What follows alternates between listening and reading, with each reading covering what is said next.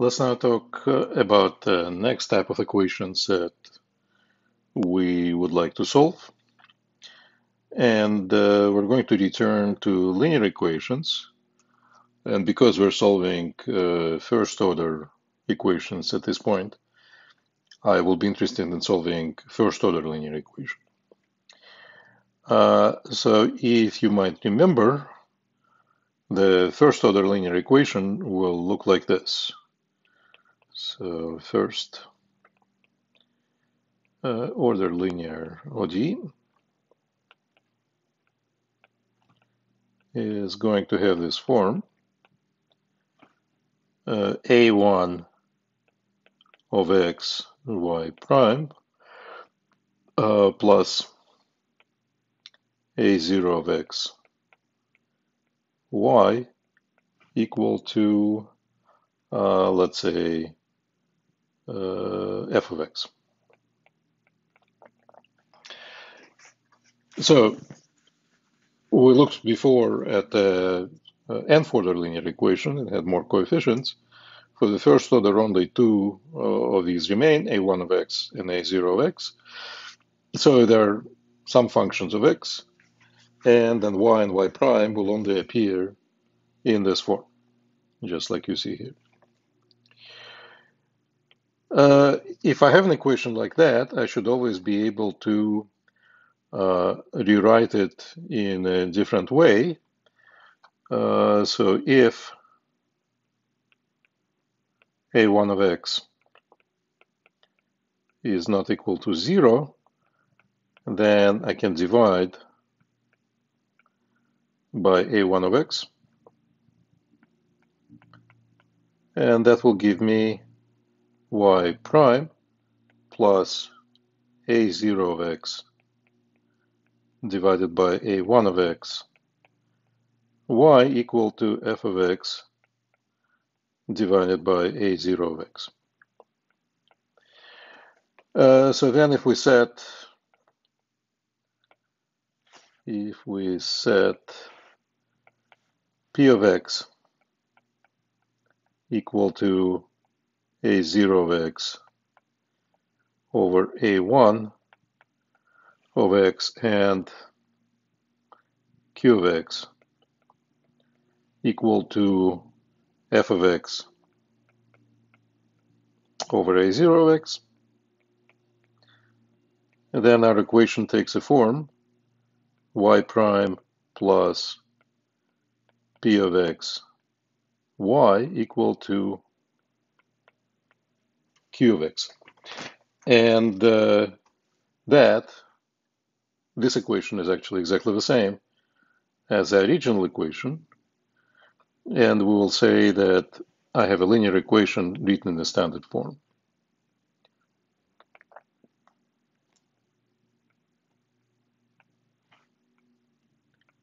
Uh, and of course, it's a first order. I'm not going to keep writing first order over, over and over again uh, in the standard form.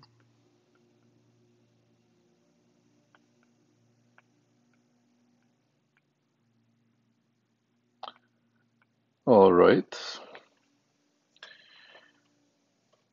So uh, let's maybe give some examples. Example number one, uh, y prime plus x squared y equal to zero. Uh, certainly, this looks like a linear equation in the standard form. And uh, in this case, uh, p of x is x squared, and q of x is zero. Uh, but also note that I can uh, re-express this in a different way. I can write this equation as y prime equal to minus x squared y.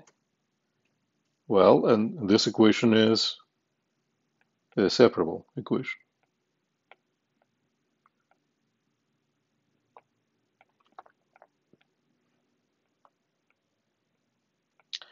And because it's a separable equation, I actually already know how to solve it, so I don't really need to solve it as a linear equation. I can solve it as a separable equation. Actually, let's do that. So can solve. Um, so dy over dx is equal to minus x squared y. Therefore, dy over y is minus x squared dx. So then we integrate both sides. And the integrals are really easy to compute. So ln absolute value of y is minus integral of x squared x cubed over 3 plus c. All right. So the important uh, point that you have to take out of this example is that you should be able to, you might be able to solve the same equation by using different techniques because uh, the same equation can be classified in several different categories. Uh, example number two, uh, y prime, or maybe xy prime, plus 2 sine x y equal to uh, e to the x. Uh, that is equation still in this form, right? Because it's a function of x times y prime plus another function of x times y equal to the third function of x, right? That's precisely what I got here. So this is a linear equation. But it is not in a standard form because the coefficient in front of y prime is not equal to 1. So to uh, write this in standard form, what we need to do is to divide by x, and we'll get y prime plus 2 sine x over x y equal to e to the x over x. So then this would be my p of x, and this would be q of x.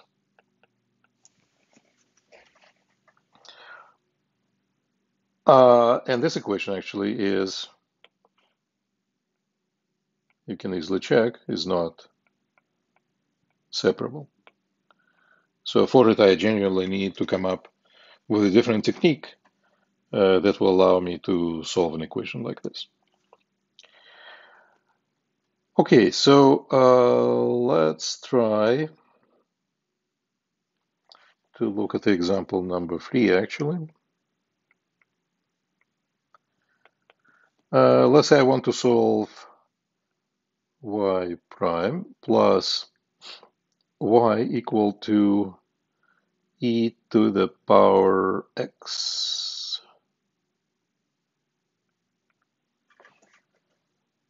So uh, before I try to solve this equation, uh, again, we have to classify it.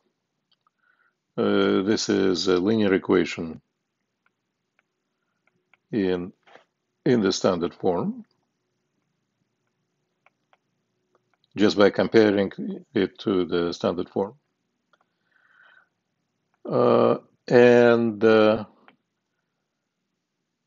it's not a separable equation.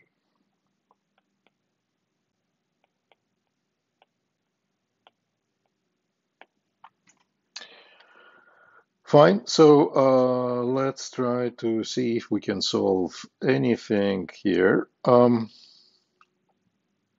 so actually,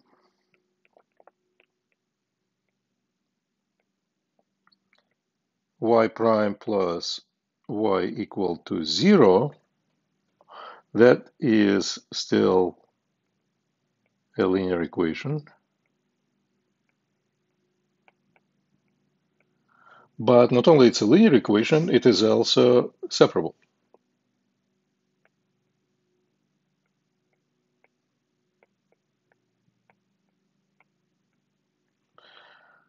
Okay, so if it is separable, then I can try to solve it. So then uh, write it as y prime is equal to minus y, which means that dy over dx is minus y, or dy over y is equal to minus dx. Uh, integrate.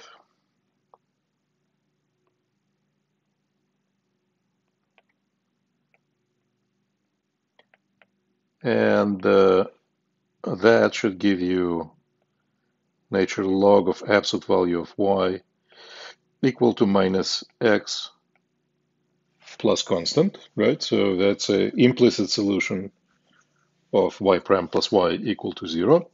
And uh, I want to find the explicit solution, so then um, I need to exponentiate both sides.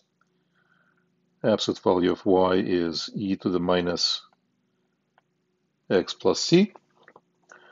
Uh, so just like we did this uh, during the previous lecture, that means that absolute value of y is the same thing as e to the c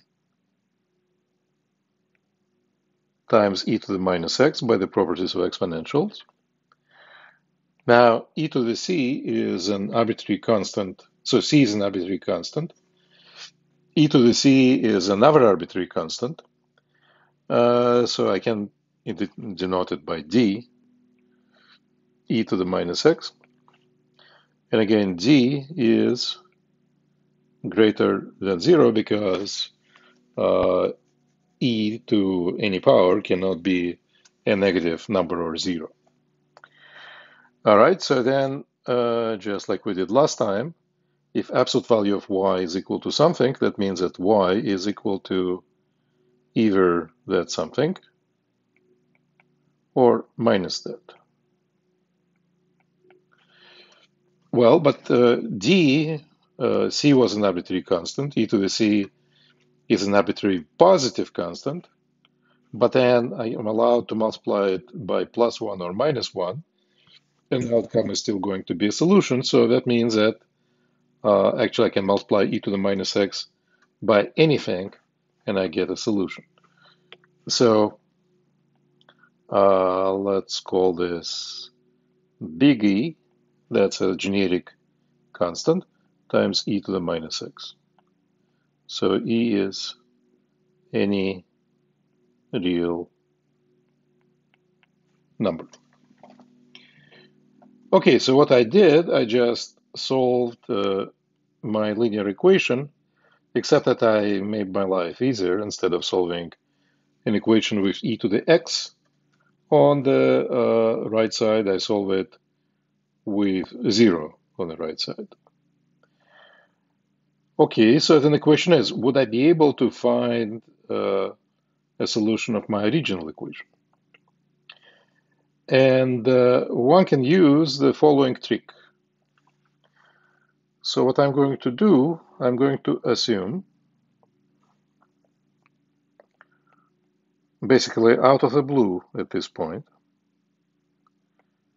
that we can write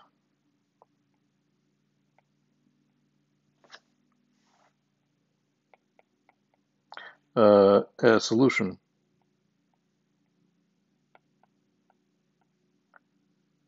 Of uh, y prime plus y equal to e to the x, then I can write it in the following way. So I have an equation with a non-zero number on the right-hand side. Here I have the same equation, but with zero on the right-hand side. I figured out the solution of that equation to be e to the uh, some constant times e to the minus x. And uh, what I'm going to try to do, I'm going to try to write the solution of uh, this equation as uh, follows, as y of x equal to v of x times e to the minus x. Right, so basically I took the solution of the equation, uh, which looks very similar to the original one, but it had zero on the right-hand side. That solution uh, looked like a one-parameter family, capital E times e to the minus x. And so what uh, I'm trying to do, I'm trying to find the solution of my original equation in the form where I replaced capital E by an unknown function v of x times e to the minus x. So for whatever reason, I'm doing this, and let's see if I will succeed. Well, so uh, what do I need to do? I need to find v, right? How can I find v? I know that y has to be a solution of this ODE. So I need to make sure that I can select v such that this product is a solution of the same ODE. So how do I make sure that v is a solution? I need to take a derivative of this function. y prime of x is going to be by the product rule v prime of x e to the minus x minus v of x e to the minus x, right? So I'm just, just applying the product rule. Uh, and so now I have uh, the function, I have its derivative. I want the equation to be satisfied, so what am I doing? I'm substituting. So then, uh, v prime, I'm going to drop uh, writing of x. So v prime e to the minus x minus v e to the minus x, that's my y prime, plus y, which is v e to the minus x, and this should be equal to e to the x. Uh, okay, so what uh, happens? Now what happens is that actually two of these terms, v e to the minus x and minus v e to the minus x, will cancel each other out. And uh, my equation becomes v prime e to the minus x equal to e to the x. So I had an ODE. I assumed that my solution has a particular form, which involved an unknown function. Uh, I substituted that uh, form of a solution that I guessed into my equation, and I ended up with another equation, another ODE, but now for v. Original equation was linear. What about this equation? it basically says if I divide both sides by e to the minus x, or if I multiply both sides by e to the x, which is the same thing, I'll have that v prime is e to the x times e to the x, which is e to the 2x. So, and v prime equal to 2 equal to e to the 2x, that is in particular a separable equation uh, trivially separable because the right-hand side is just a function of x, and the function of y basically is 1. So I'm going to solve the separable equation. Um, let's see. Uh, so dv dx is e to the 2x. So therefore, dv is e to the 2x dx. And therefore, I can integrate both sides. And the integral is really simple. Uh, integral of dv is v, and integral of e to the 2x, 1 half e to the 2x, uh, in principle plus a constant. Okay? All right, so I have a v like this, and then I take it and I substitute it into my y of x, right? So v I know. So then y of x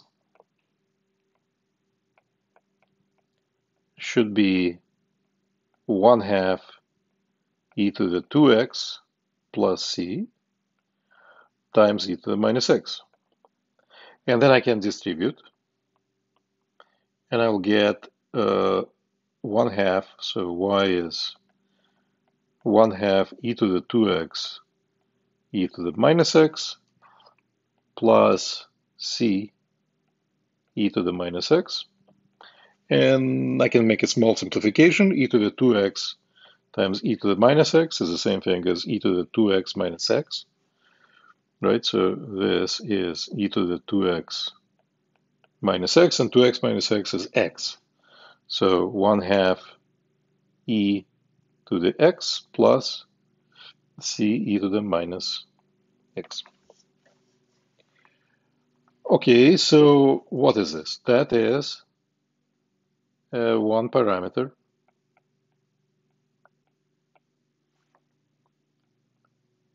family uh, of solutions.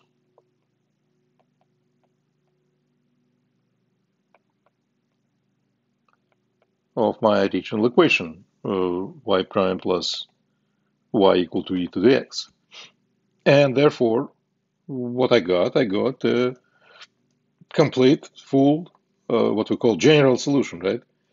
It's a solution. Uh, for the first order equation, I expect solutions to depend on one unknown parameter, and what I got is a solution that depends on one unknown parameter. So that means that I fully solved my uh, ODE. Uh, note a couple of things here, so I'm going to make a note.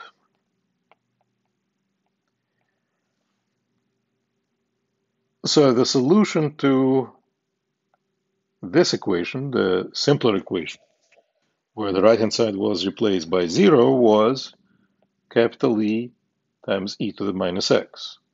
So it's an arbitrary constant times e to the minus x. And I look at the solution that I found here at my one parameter family, and I see that c e to the minus x makes an appearance in the solution. It's added to something which does not have c in it. So then this c e to the minus x actually is a solution, one parameter family of solutions, to the problem where the right-hand side was replaced by zero. So c e to the minus x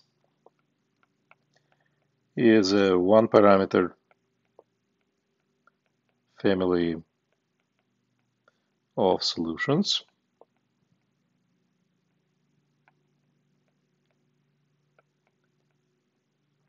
of y prime plus y equal to 0. And let's look at the remaining piece here. The remaining piece is 1 half e to the x. So if I take 1 half e to the x, uh, let's call it yp. And let's make it 1 half e to the x. So if I take the derivative of this, yp prime is still 1 half e to the x. And then if I take uh, yp prime, and to it I'll add yp, that's e 1 half e to the x, plus yp itself is, again, 1 half e to the x, so the outcome is e to the x. Fine, but then what does yp do? It solves my original equation, but it does not have any arbitrary constants in it, right? Because it's just 1 half e to the x. So this then, this function solves the original OD And so you see that uh, the solution of uh, this one parameter family of solutions, or the general solution of my uh, linear ODE with uh, some function on the right hand side, it actually consists of the sum of two pieces. Piece number one is a general solution of an equation with zero on the right-hand side. And piece number two is not a general because it doesn't have a constant, but uh, it is a particular solution of uh, the equation with e to the x on the right-hand side. So uh, we're going to then use the following terminology. Uh, so given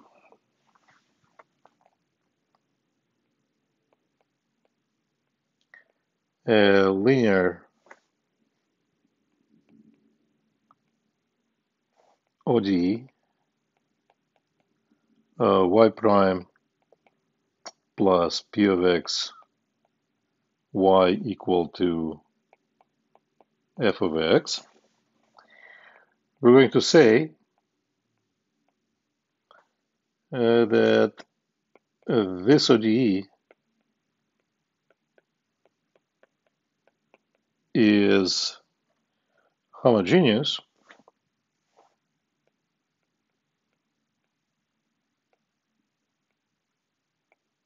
if f of x is a function which is equal to zero everywhere. Otherwise, otherwise, the ODE is non-homogeneous.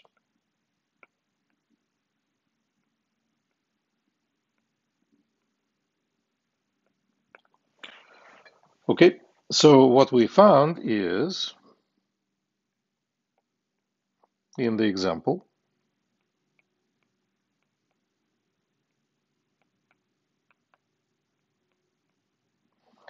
uh, y prime plus y equal to e to the x. Now, this equation doesn't have zero on the right-hand side, so this is a non-homogeneous.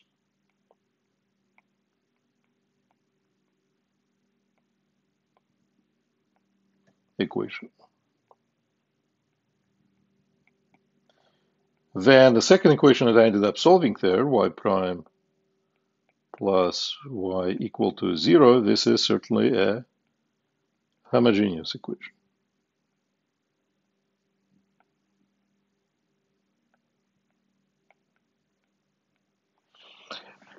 And so what we found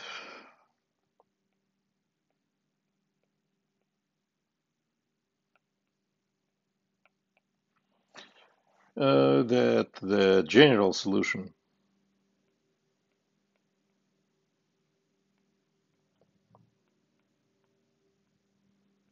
of my original ODE, non-homogeneous ODE, y prime plus y equal to e to the x, that uh, the solution is the sum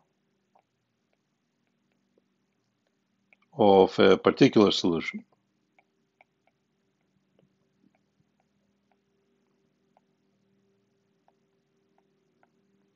of y prime plus y equal e to the x and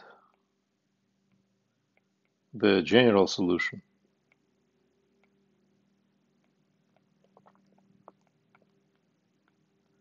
of the corresponding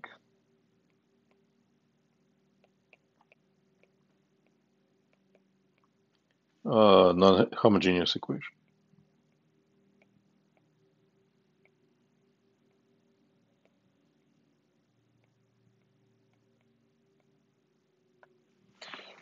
All right, so that's what we found here, right?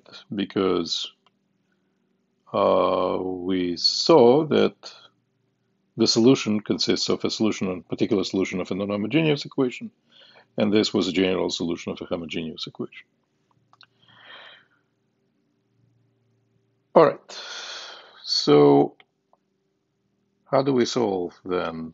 So if I give you any equation, any linear equation, then I could use uh, the same procedure that I just outlined uh, to, so, to solve an arbitrary uh, first order linear equation, right? So if I have an equation like this, I can always write its corresponding homogeneous equation.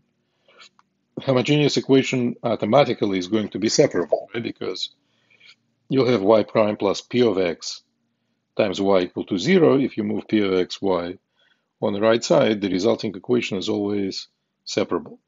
So you can solve this separable equation. And then you can use this procedure where replaced a coefficient in front of e to the minus x, replace it by a function, and then uh, modify your ODE, substitute the function to ODE, get a new ODE, which is going to end up being separable, solve it, and you'll find the solution of uh, general solution for a linear equation. Uh, but rather than doing this, uh, I mean, if you do this, then you'll see that uh, a certain pattern of solving the equation emerges. And uh, I'm just going to describe that pattern, and we're going to use it in the future to solve first order linear ODEs. Uh, so how to solve?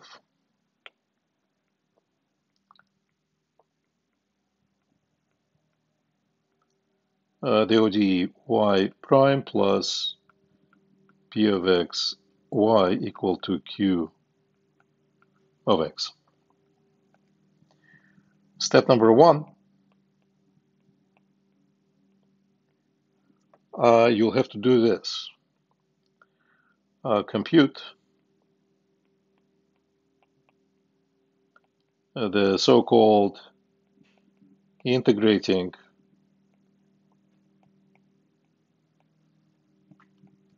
factor uh, as denoted by mu of x, and this would be e to the power p of x dx integral. Right, so you need to integrate the function p of x and then uh, use that integral as a power of e to get something called integrating factor. Step number two,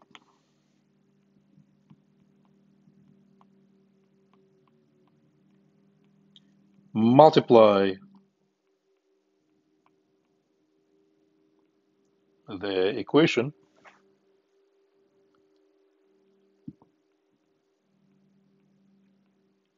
by mu of x. Uh, if you do that, you'll get mu times y prime plus mu times p y equal to mu times q.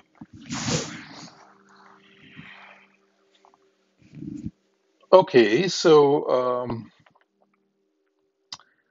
let's check something that happens in this case. Uh, uh, let's figure out what mu prime is.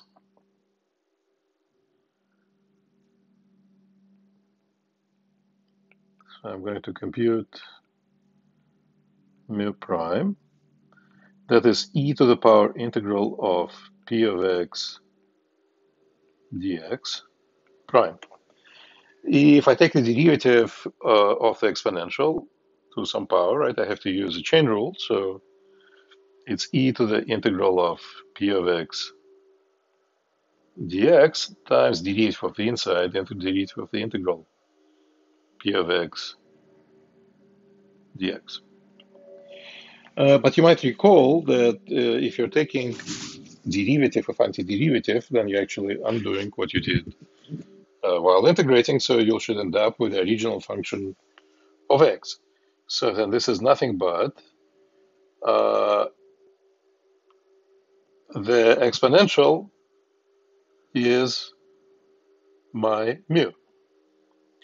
So this would be the same thing as mu times, and derivative of the integral is the function in the interior of the integral, inside the integral. So you get this mu p.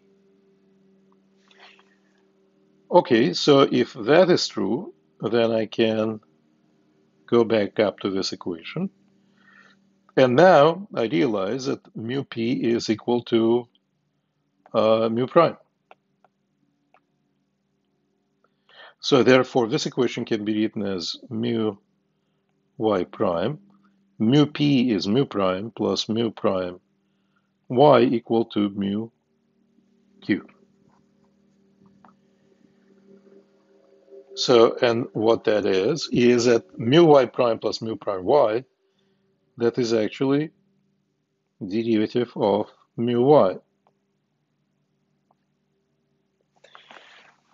So what am I getting? I'm getting that if I multiply my equation by the integrating factor, then what I see is that is that uh, the derivative of mu y mu y must be equal to mu q. So, but then that means I can compute what mu y is simply by integrating mu q.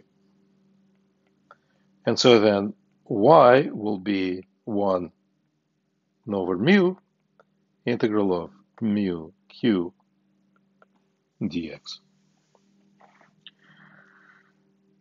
Uh, okay, let me let, let me let me let me rearrange this for a second.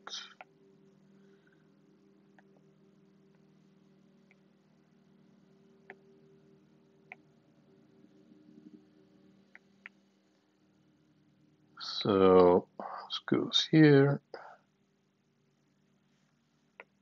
and this will go above this.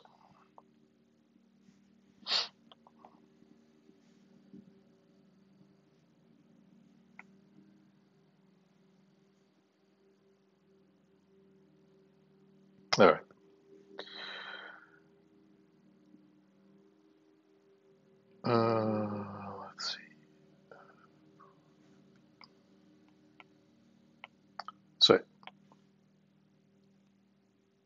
All right.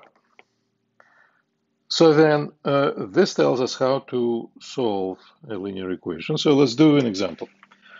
Uh, in fact, let's do the same example as I just did. Uh, find the solution y prime plus y equal to e uh, to the x. We already solved this equation, so we're just going to find out if uh, uh, we can solve it in the way I just explained. So step number one, again, I need to find the integrating factor mu of x. What's the integrating factor? It's e to the power integral of p. In this case, the coefficient in front of y is 1. So integral of 1 dx, and that should be e to the x. And then if I multiply my equation by the integrating factor, we have just seen that what this will do, it will change the equation to this form. So if I multiply my equation by the integrating factor, I should get mu y prime equal to uh, mu q. So who is q and who is mu? Uh, mu is e to the x. So e to the x y prime is equal to e to the x. And uh, what is q? q is also e to the x. So that is e to the power 2x. And so I can then find e to the x y by integrating e to the 2x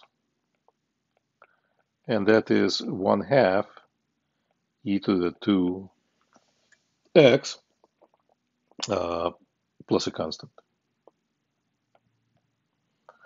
And uh, so if I have e to the xy equal to this expression, then y I can find simply by dividing both sides by e to the x. So to this gives 1 half e to the x plus c e to the minus x. And that's exactly the same solution as we found before, right? So that means that the method really works. Let's do another example. Uh, let's take, uh, let me see what I can do here. Uh, let's try an equation like this. Uh, e to the x, uh, y prime, plus x times y, let's say, um, is equal to x cubed. So I can solve this equation again by using the integrating factor. So first step, find the integrating factor.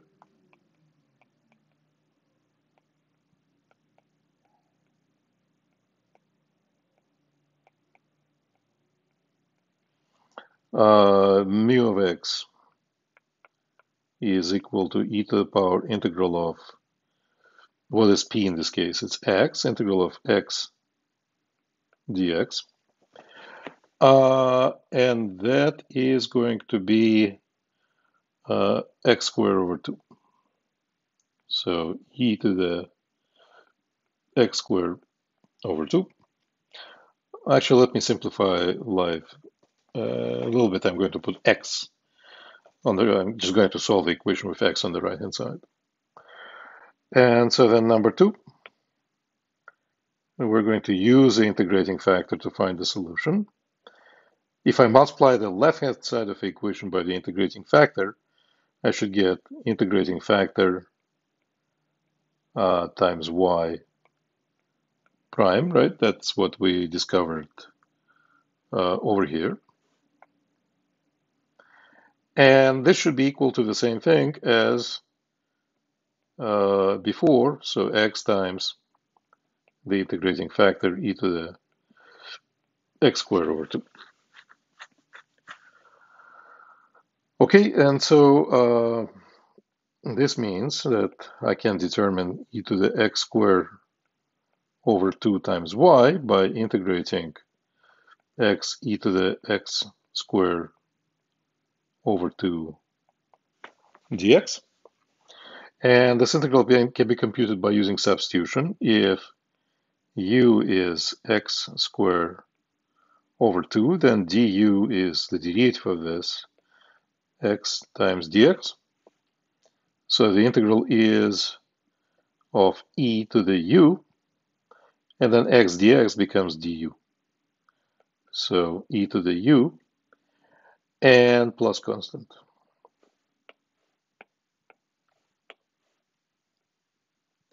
And then we recall what e to the u, e to the u is, it's x squared over 2. So e to the x squared over 2 plus c. And so we found that e to the x squared over 2 y, oops, is the same thing as e to the x squared over 2 plus c. So we can solve for y. y is 1 plus c e to the minus x squared over 2.